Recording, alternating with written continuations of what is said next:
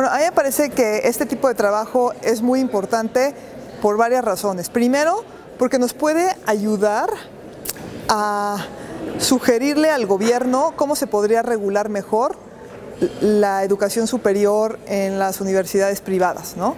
O sea, qué requisitos se les va a poner a las universidades para que puedan impartir ciertos programas y cómo se puede subir la calidad. Pero para mí lo más importante de esta encuesta es la forma en la que le puede servir a las personas que están por elegir una carrera o a las personas que ya están estudiando una carrera. ¿Por qué?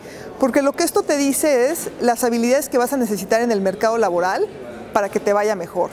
Entonces, alguien que apenas va a estudiar una carrera puede entrar aquí para empezar a ver cuáles son las carreras mejor pagadas, cuáles son los retos a los que se enfrentan los egresados y si la persona ya es un egresado, puede también entender cuáles son las habilidades que más requiere el mercado laboral.